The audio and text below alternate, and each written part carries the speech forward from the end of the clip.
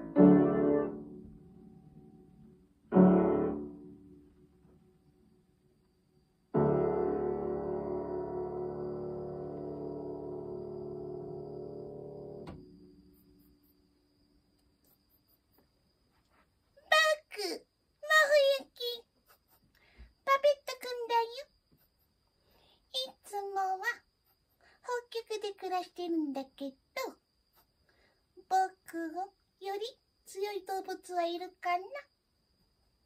毛布。僕パペットくんの毛布行きだよ。北極で暮らしてるんだけど、俺様より強い動物はいるかな？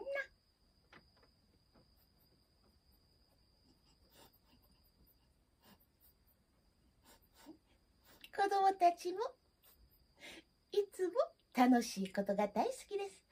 遊びながら、残った残った、はっきり残った残った。だるまさんが来る。だ。楽しく遊びながら学ぶことも大切だよ。皆さんも人を思いやり、励まし、勇気づける言葉を大切にしましょうね。できないことができるようになるからピアノは楽しくなるんだよ。それではまた明日も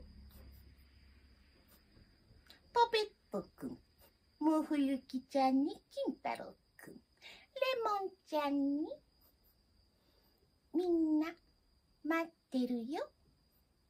頑張るよい子を応援しているのである。